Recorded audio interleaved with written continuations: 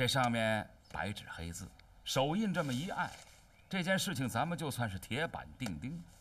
好嘞，我为你争得这笔大订单可是不容易啊！你看看，二十万坛酒，每坛净利润半个大洋，这就是十万块大洋的进项，您可发大财了！到时候可别忘了兄弟我啊！多谢知识大人关照。啊，见面分一半。哎，这这这这这这，别别别！哎，你看，这，哎呀，好了，那我也不客气了。从今往后，咱们就是一家人了。啊，你们这个订单呢，数额巨大，我让别人送我也不放心，所以我是亲力亲为。哎，对了，你们对这个赵老爷子？他拒收二十万的订单，这事儿怎么看呢？啊，一朝被蛇咬，十年怕井绳。大清朝亡国的前一年，赵家因为一场官办的生意，差一点儿就遭到了灭顶之灾。哎呦，这都什么年月了？现在是民国了，连督军都倡导依法治浙啊！你看看，白纸。黑字儿，还有红印儿，这个官府能抵赖吗？张知事，啊，我听说这赵家的女儿臣，咱督军府给的价钱可是比别家的黄酒贵两倍呢，有这事儿？有这事儿啊！哎，对了，都在我这公文包里。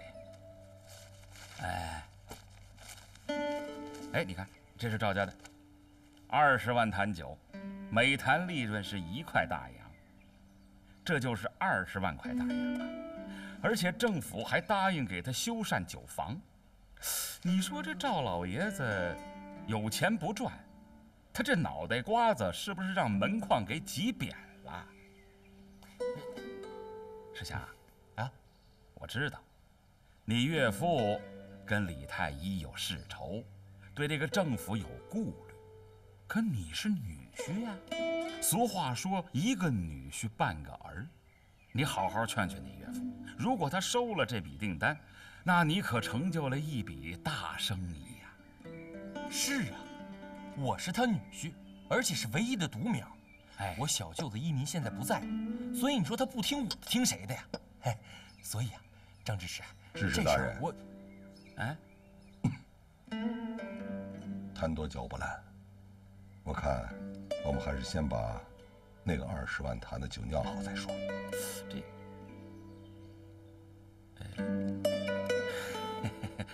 好吧，哎，你们也应该好好的考虑考虑啊，好好考虑考虑。不过我过两天呢，要去找一下赵德宏。万一啊，他要是同意了跟政府合作。那这笔大买卖可就没了，何去何从，您自己定夺啊！哎，好，请留步。啊，慢走，慢走啊！爹，这可是个机会，赵家现在富酿明显是有困难，可这跟官府合作，我岳父不干。这可是送上门的大生意啊！你懂什么？这送上门来的不是生意。你知道你岳父怎么想的？时机不到接了这个订单，那叫趁火打劫；时机到了，你岳父求到门上来，那叫水到渠成，救人水火。哼！哼！你想得美！哼！赵德宏能求得着你？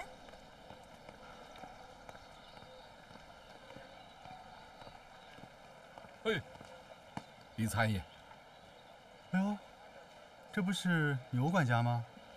我早就不是赵家的人了。你像赵家那破败的家，有什么可管的？我现在就像一条没人管的流浪狗。你有事吗？呃，参议，俗话说得好，鸟于鸾凤飞腾远，人伴贤良品自高。鸟择良木而栖呀。我牛顺呢，喜欢跟着聪明人，啊，参爷。您给个痛快话，能不能赏牛顺一碗饭吃？我已经好几天没吃一顿正经饭了。我的饭可不好吃啊。我也不是吃软饭的人呢，啊？跟我走吧。哎哎，爹，赵家要是能周转开，现在就缺三万大洋。我爹说了，很快就能还上的。你写撤诉状的时候，早就该想到今天。我不是没提醒过你爹，你爹说了，赵家的事儿用不着我们王家管。亲戚朋友拉一把，酒换酒来，茶换茶。一迪啊，赵家的事儿我们该帮，可这三万大洋不是个小数目，你容我准备准备，啊？可是我已经答应了那些米商、酒商，三日后给他们结账。今天是最后一天了。你答应了，你凭什么答应啊？是你丈夫同意了，还是我同意了，还是你爹同意了呀？你别以为你怀了王家的孩子，你就可以以主人自居了。哼，这当家做主的事儿还轮不上你呢。要是家里的钱不凑手，我就不勉强了。我这就回去，想想别的办法。你去哪儿啊你？还能去哪儿？回娘家，给大家一个交代。一迪啊，你别着急，我想办法给你凑凑啊。那就谢谢爹了，我先回去了。不是，哎哎哎，我嗯，世强，快去送送，他有身孕，别出什么事儿啊！我不去，快去！哎，你让他碰碰钉子去。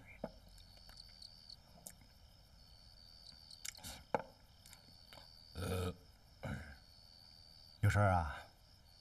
你说你不是吃软饭的，那我问你，你跟着我都能干什么？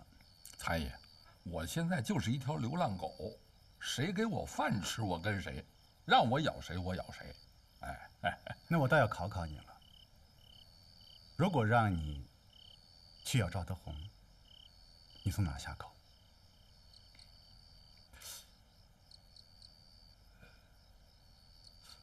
蔡爷，我听说赵家有一批陈年佳酿，一直藏在凤凰坡老宅里边，那可是价值连城啊！若能找到这批酒，想办法把它弄到手，准保能卖个好价钱。哎呀，你呀，充其量咬到了赵德宏的屁股。屁股怎么了？屁股肉更多呀！我要的可是赵家酒坊的命根子。德宏兄，孩子们昨天说有一些外债，我就带了三万块钱来，您先支配着，不够我再筹措。感谢亲家出手相助，客气话我就不说了。爹，您这不想用政府的钱，您这情怀跟初衷啊，我跟我爹都理解。您以后再有缺钱的地方，您就说。我跟我爹再想办法。可是，我总觉得这样不是一个长久之计。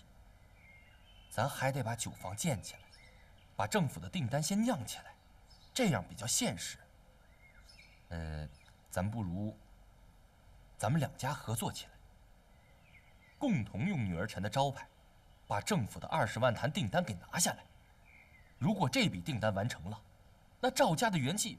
马上就恢复起来了，爹，咱别放着河水不洗船呢，您说呢？谢谢亲家救急，一迪啊，你去写个借条，别忘了把我的印章盖上。好。哎，等等，德宏兄，你这是干什么？都是一家人，你的我的，百年之后不都是孩子们的吗？再说，绍兴酒业，将来靠的是他们。嗯，亲家所言极是啊。一迪啊，你去我枕头底下，把那个包给我拿来。哎。既然怀仁兄不让我写借条，那我就决定把我这房契、酒窖、商铺、货栈都抵押给你们王家。嗯，我算了算呢，怎么也值个三万大洋。爹，这这不合适吧？怎么不合适啊？在商言商，信字第一，契约凭证，这不伤感情。赵家所欠分文，来日一定奉还。如果到了日子还不上的话，这些抵押品就姓王了。德宏兄啊，我的好亲家，这些你把它收好喽。你把这些抵押给我，那是陷我于不义呀。刚才怀仁兄说的好啊，什么你的我的，百年之后都是孩子们的。世祥啊，哎，你把这些凭证收好了，不然我是不会收你爹送来的这三万大洋的。不是，爹，那这那这样，呃，恭敬不如从命。世祥啊，你先替你岳父把它收好了。德宏兄啊，可这政府的订单，你到底是怎么打算的？赵家的酒业是元气大伤啊。我赵德宏的身体呢，也是一天不如一天了。况且，我们赵家向来与官办的生意无缘。这个赵德宏啊，可真是个佞种。王家就是私自资助他，他都不同意付那样。咱们想一个修理他的办法。不然，为什么？我觉得还是没有掐住赵德宏的七寸呢。那你有什么妙计啊？大人可听说过凤凰坡神教的事儿？听说过，说是整个凤凰坡就是一个大酒窖。赵家几百年来酿造的黄酒，全都藏在了山底下。那些黄酒呢，只进不出，而且价值连城。可这毕竟是个传说呀。姑且不说神教是否存在，凤凰坡可是赵家几代相传。那是两百亩稻田，一汪酿酒神泉，那可是赵家酒坊的一脉酒魂。据我所知，赵家窖藏的陈年佳酿，且不说价值连城，怎么也抵得上绍兴酒业的半壁江山吧？你是说把凤凰坡弄到手，就掌握了绍兴的整个黄酒业？针对王家，可以鼓励他多酿酒，等养肥了再杀。赵德宏就不同了，只有重压之下，才能榨出油水来。好，对付赵德宏，我听参议的。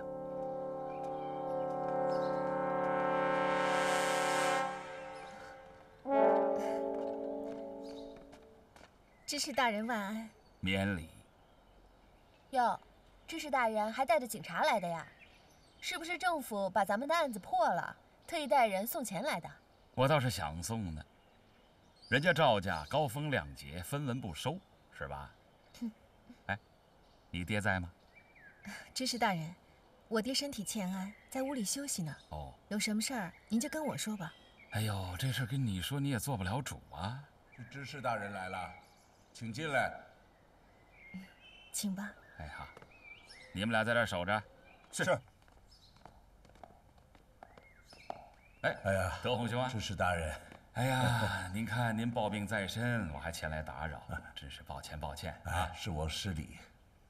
但是公务在身，我又不得不来呀。请坐。米粒儿，上茶。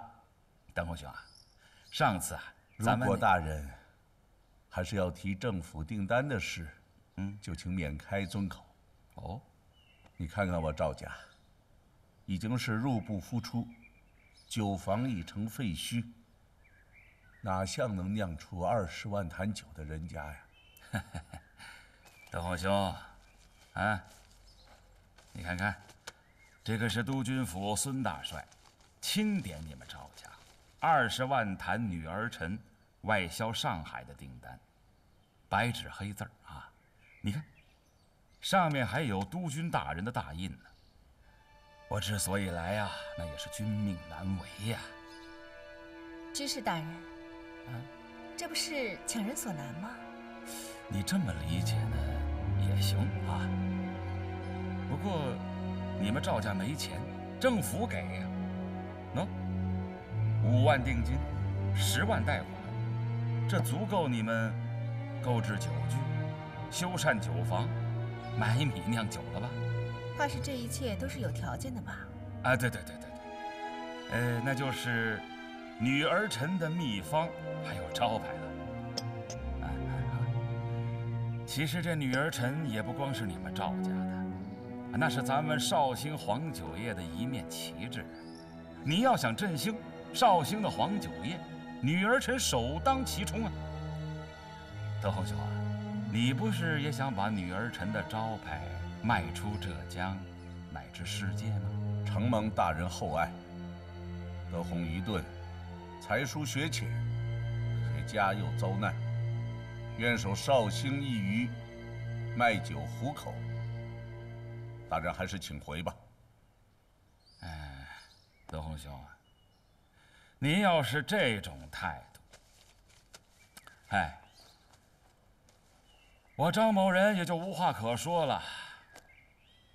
咱们打开天窗说亮话，现在摆在你们家面前的只有三条路，一条是你们自己想办法喽，但是即刻付酿；第二条，交出女儿陈的秘方和招牌，由政府来代酿；第三条嘛，那你就承担北洋军的巨额摊派款喽。这可是督军大人钦点的，他亲口说了，女儿臣是百年的金字招牌，理应为浙江战事的安危效力。何去何从，您自己定夺。那么摊派款是多少？啊，不多，呃，就十万现大洋吧。十万现大洋？啊，这不是强取豪夺吗？你这么理解也行。我对凤凰坡赵家老宅神教的传说神往已久啊。好了，告辞了。不送，您留步。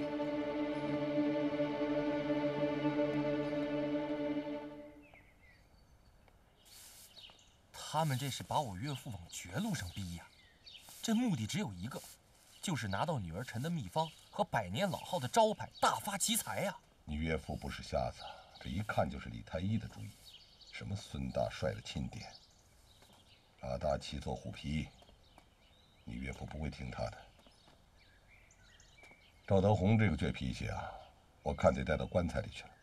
在他眼里，我们充其量就是一个土财主，孙南生就是个败家子儿。哎呀，可惜啊！可惜了，女儿陈这个百年的品牌了。什么政府配合的订单呢？那都是李太医设计的圈套。浙江这么多年，军阀换了一茬又一茬，什么振兴绍兴酒业，都是他们骗人的鬼话。他们就是想赚钱，赚大钱。赚钱倒不可怕呀，可怕的是李太医处心积虑，让张五湖逼着我们复酿。今年冬天二十万坛，明年就会是三十万坛、四十万坛，这还有什么品质可言？李太医的最终目的，就是想毁了我们女儿陈这块招牌。这个人也太狠毒了，爹。咱们不能让他得逞，所以啊，我才遣散了伙计，决定停酿。爹的目的只有一个：宁为玉碎，不为瓦全。不能让我女儿臣这块金字招牌毁在这帮坏蛋手里。可是爹，如果咱们交不上这十万现大洋的摊派款，咱们赵家的老宅就会受到威胁。这更是李太医的主意。早在宣统年间，他的父亲就伙同过官府，祸害过凤凰坡一次。那咱们怎么办呢？你爹，咱们家最值钱的，就是窖藏的那批陈年老酒了。爹，您估计这批酒能卖多少钱？卖不到十万，也可以卖个七八万大洋。可是这批酒绝对不能流落到他们手里。这批酒纯度极高，稍加勾兑就可以以一当十。这要是那个样子，女儿臣这块招牌就砸了。爹，您要是信我，这件事儿就交给我来办。我走了。米粒儿，哎，怎么了，小姐？我去川帮找罗大哥商量点事儿，有事儿的话你去那儿找我。我陪你一块儿去。不用了。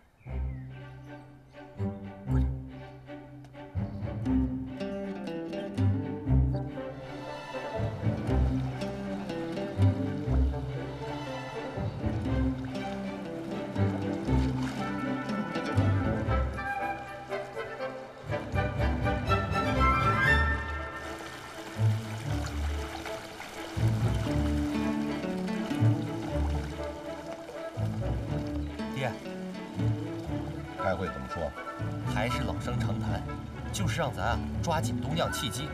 这中心的意思啊，就是让大家别耽误事儿，保证产量。爹，你说让赵家伙计干这种活，有点太浪费资源了。咱后院不是空着两间酒房？咱不如把它利用起来，让他们开酿女儿陈，那肯定是手到擒来的事儿啊。看来，我向我岳父借牌子跟秘方的事儿，我还得再努力努力。我看是瞎了点灯，白费蜡。不过有一件事呢，你倒可以去试一试。什么事儿？十万大洋的摊派款，不是那么容易凑的。赵家现在最值钱的东西，除了凤凰坡那片地之外，也就是他窖藏的陈年佳酿。我估摸着，这是赵家最后一根稻草了。爹，那可都是好酒，那可不能落在别人手里啊！你说这赵一迪他怎么不跟我说呢？罗大哥，我冒昧的问一句，你手头可宽裕啊？用钱你就直说，我船帮人多，三万五万的应该不成问题。那我就直说了。好，想必赵家的情况你也知道些了。这政府强征十万现大洋的摊派费，我是想把家里的一批陈年佳酿抵押在你这里，可以吗？不用抵押，我借钱给你就是了。这批陈年佳酿都是原浆好酒，不到万不得已，赵家是不会拿出来卖的。怕是有不法商贩再拿出去勾兑卖人，所以我想把这批酒抵押在你这儿，等过个一年半载，赵家恢复了元气，连本带息赎回。要是赵家彻底完了，这批酒按市场价卖的话，也一定会物有所值。妹子，我当然信你。到时候你把钱拿来，酒我完璧归赵。一彤，哎，姐夫，你怎么来了？我姐她已经回家了，啊，什么时候的事儿？大约两个时辰了，哦，爹在吗？在屋里躺着呢。世祥吗？哎，进来吧。哎，我进去了。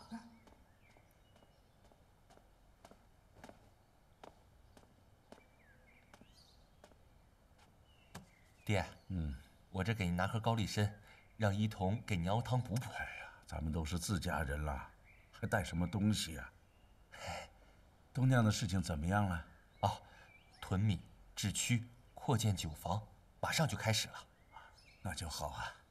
哎，对了，爹，呃，我听说，张执事最近又找您，跟您商量这个酿酒跟摊派款的事儿了。您是怎么想的？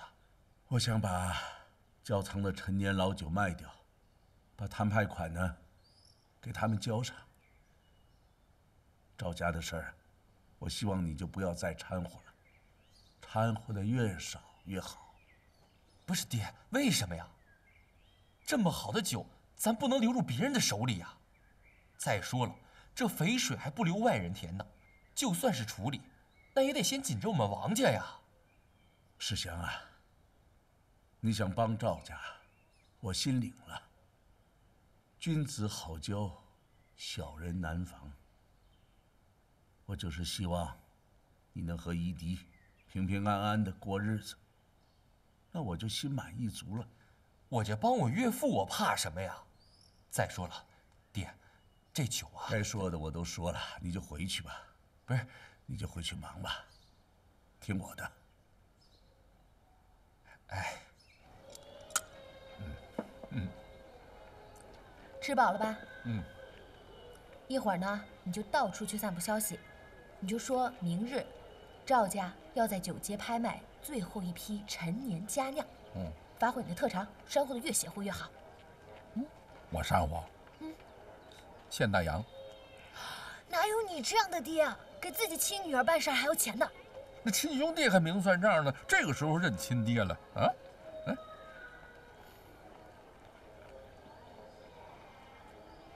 嗯。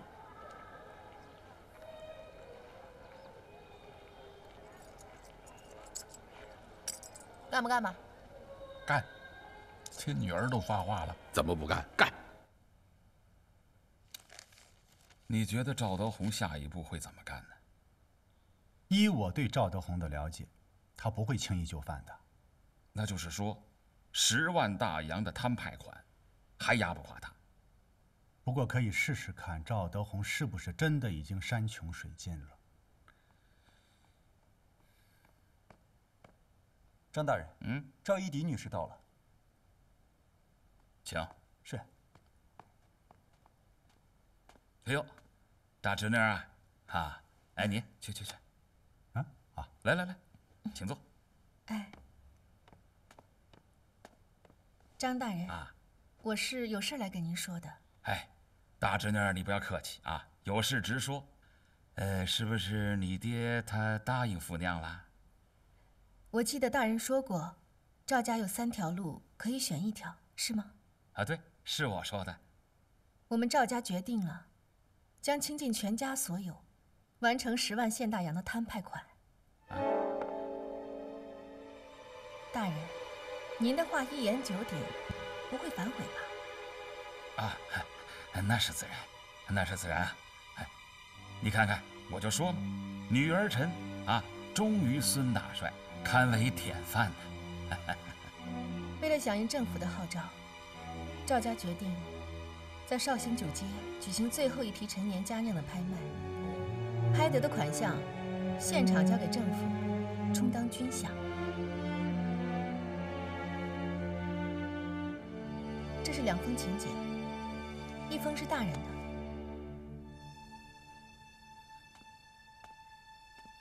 这封请柬是李参议的，您可一定要来参加。呃，一定，一定。张大人，啊？那明日我在九街恭候二位大驾的光临。我去，我去，我去啊！告辞。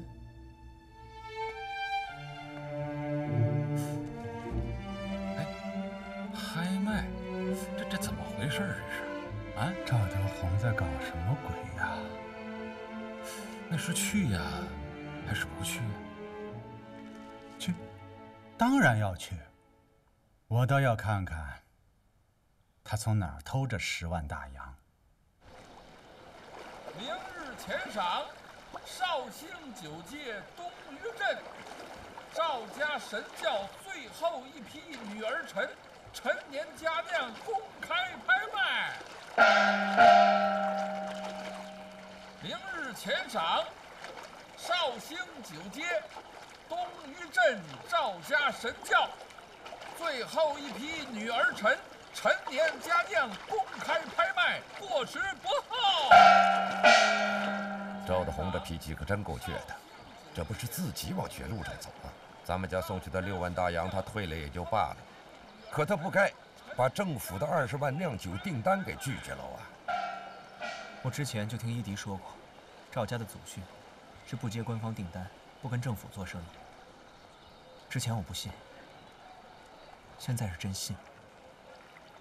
仁义礼智信，咱们说在嘴上，人家赵家可是长在心里。南生啊，你还是个有悟性的孩子，你能悟到这一点，我很高兴。说明你没有白经历这一切。虽然咱们是诗书传家，可是跟他比起来，哼，惭愧呀。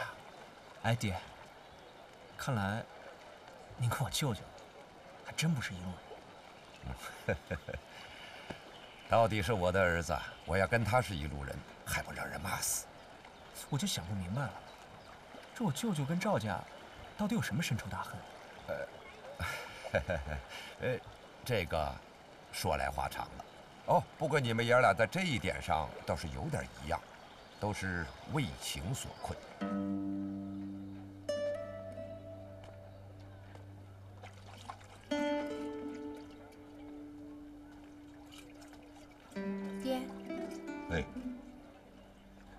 祥呢？去东一镇找你去了，没碰着啊？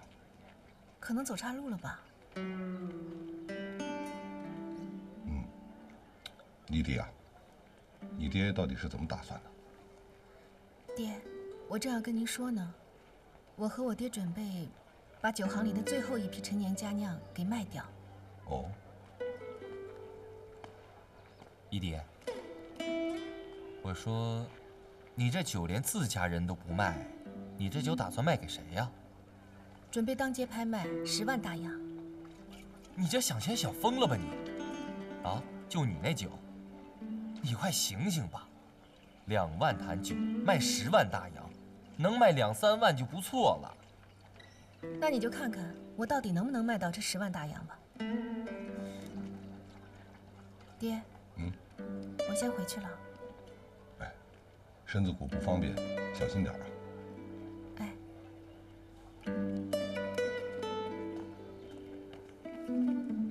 爹，您看看，您看把他能耐的，两万坛酒他卖十万大洋，他当全绍兴人都跟他们家一样，都疯了。哎这次回来没提借钱，这已经万幸了。十万大洋不是个小数啊。你岳父怎么说啊？他说：“千万让咱们别掺和他们赵家的事儿，让咱们把自己家的东酿管好就不错了。”我好说歹说，就是不卖给咱们。哼，不卖拉倒。明天我倒要去拍卖会现场去看看，我看看谁当这个冤大头。石祥，咱们得想办法拍到这批酒。爹，您是说，咱也花钱拍他那酒？看我的眼色。赵家要拍卖酒，你跟着起什么哄啊？我女儿让我给赵家暖场子，我错了，参爷，你罚我吧。你没错，今天场子暖得不错。我觉得，明天你去砸场子，会砸得更好。砸场子，那是我的拿手好戏呀、您说怎么砸？来，过来。大家静一静，哎，静一静了。诸位，绍兴东隅镇赵家女儿陈最后一批陈酿酒拍卖开始，底价五万，请大家踊跃竞拍。现在开始出价。五万零一块大洋。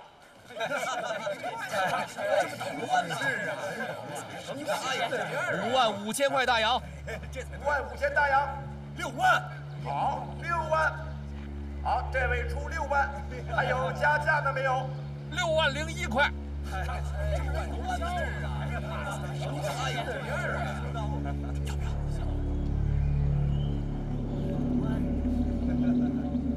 绍兴建湖行，六万五千大洋。好，六万五，六万五，还有加价的吗？王家不能参加竞拍，为什么？说说理由。他们有哄抬物价之嫌。怎么不能啊？对呀，这个问题，伊迪小姐刚才已经说过了，所有拍卖的款项都要捐给政府，所以任何人都可以竞拍。拍卖继续。六万五，六万五，还有再加价的吗？六万七谢大洋。六万七，谢谢这位，谢谢。六万七，还有加价的吗？七万大洋。这位先生出七万大洋，还有加价的吗？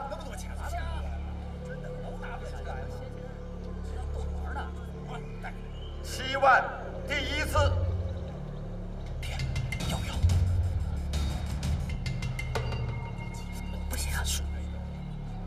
七万，第二次。还有加价的吗？七万，十万。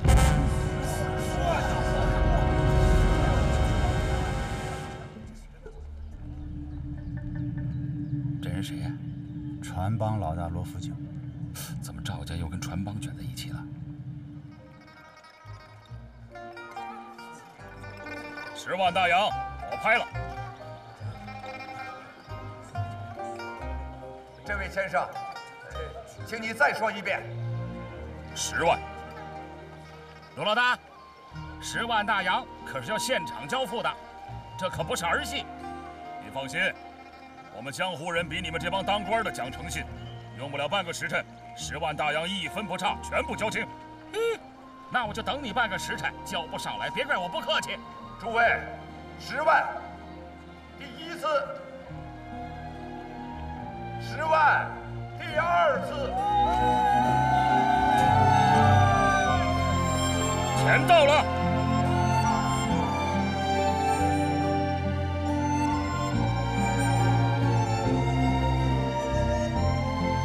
十万大洋，成交。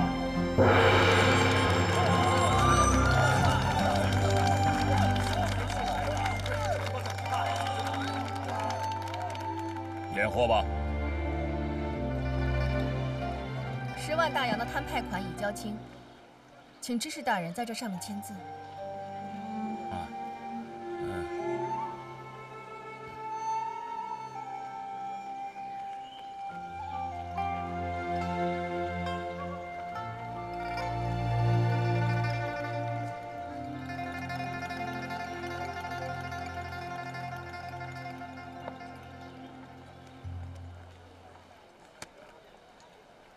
走吧。请留步。德宏有话要说。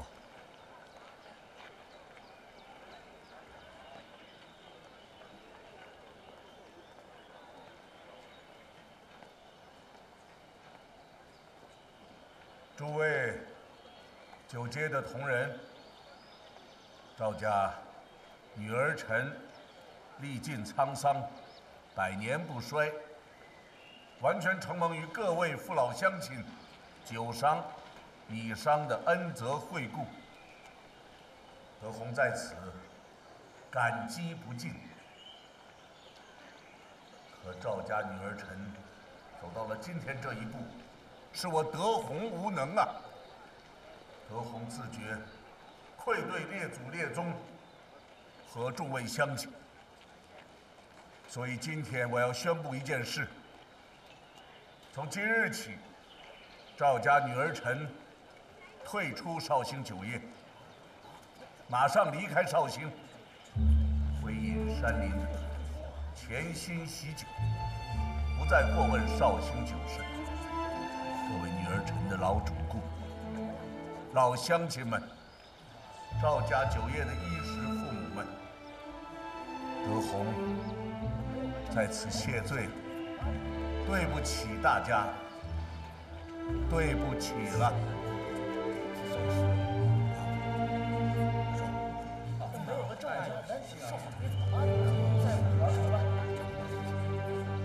再没有了哎呀我还真是小觑赵一迪这个丫头了。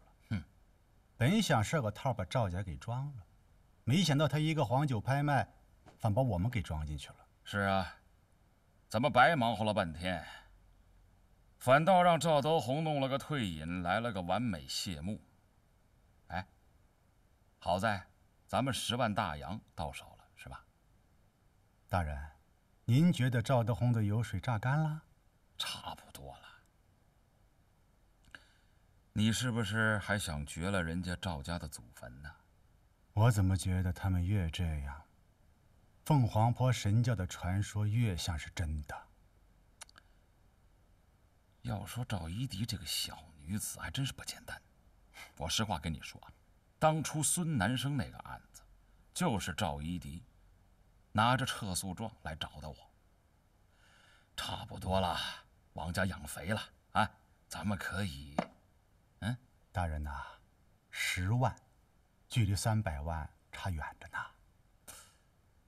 也是啊，王家得再等等，等等，等等。不一梦，空方休。笑看日月走马灯，香雪暖，